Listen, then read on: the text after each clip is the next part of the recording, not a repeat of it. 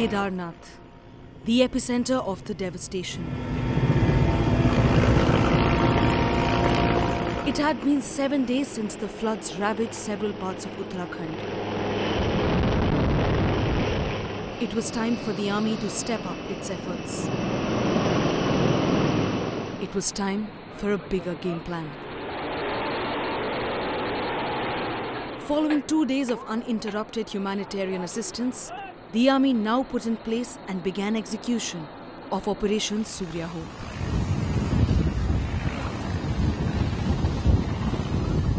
The aim of the mission providing humanitarian assistance and logistic needs in Badrinath, Hemkund, and Kedarnath regions. The weather was quite margin, marginal, but despite that, we were able to pull out uh, 1,341 people uh, from various sectors.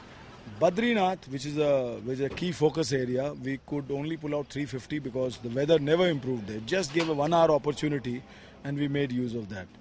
And as far as uh, uh, the Harsil sector goes, that's almost emptied out. There are only about 600 people. But that should finish uh, today. Today, in this this morning, weather was good here, so our aircrafts have got launched from here.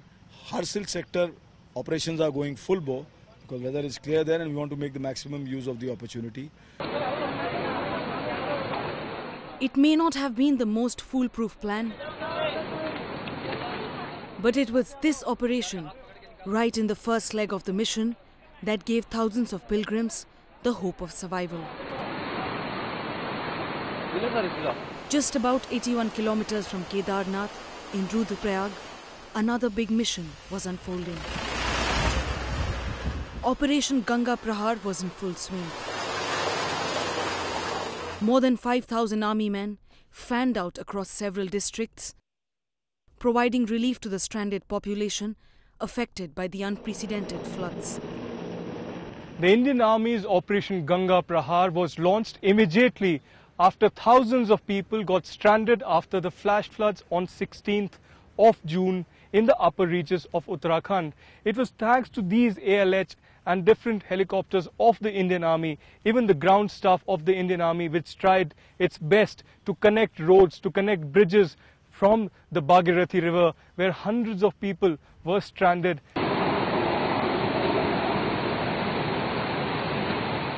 As the army and air force were pulling out all stops to get the victims out of the flooded areas, there was another slightly lesser known force that was braving multiple challenges on the ground. The Indo Tibetan Border Force, their teams, the best trained for mountain rescue.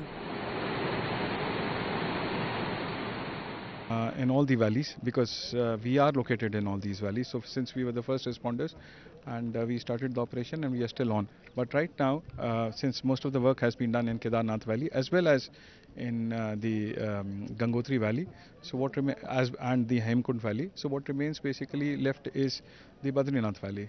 In Badrinath, people are safe. Their first mission evacuating pilgrims from the Kedarnath temple. rescue work is going on. Today, luckily, the weather is better than yesterday, although it is not uh, totally clear. But uh, air rescue operations from Badrinath as well as Harshil are going on.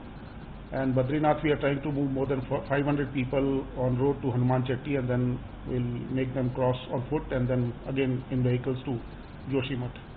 So we hope that a substantial number of people will be evacuated. In Kedarnath, the ITBP team travelled on foot to reach Sonprayag. They were the first to reach the area, providing food, medical help, and assistance to the stranded victims. Carrying relief work at an altitude of more than 10,000 feet in the cold and difficult climatic conditions of Kedarnath. And even now, after bringing back thousands to safer areas, they are executing search operations. Well, the kind of mass and unprecedented devastation which the state of Uttarakhand has seen has left many cities and tens and thousands of people stranded in the most treacherous of locations. It was a joint operation of the Indian Army, the Air Force, the ITBP and the NDRF which brought most of these tens and thousands of people out from these difficult locations.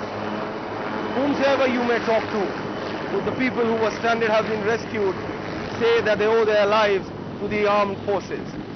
The armed forces have gone down into the most treacherous of locations, in the most difficult weather, in clouds and in fogs, to bring out the people who have been stranded from Kedarnath to Uttarkashi.